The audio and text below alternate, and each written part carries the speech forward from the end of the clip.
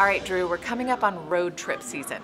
Yes, ma'am. So, getting ready for a road trip, what sorts of things do we need to be checking out here before we hit the road? Absolutely. I think it's way important. A lot of people's got away from it. Okay. But most cars, if you'll see the yellow marking, so see the yellow on the Okay. washer, Yeah. you see yellow on the brake fluid, you'll see yellow for the dipstick. Yeah. Those are really, that's just letting you know these are the fluids it's important that you need to make sure you take a look at.